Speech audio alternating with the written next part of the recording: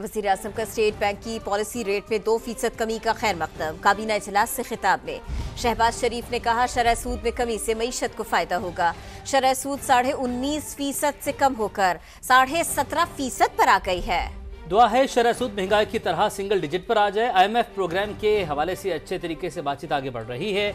IMF programme होने के बाद ग्रोथ में इजाफे के लिए इकदाम करेंगे। हमें कर्जों से जान छुड़वाकर अपने पाँव पर खड़ा होना पड़ेगा। दोस्त ममालिक ने एक बार फिर हमारा पूरा साथ दिया है।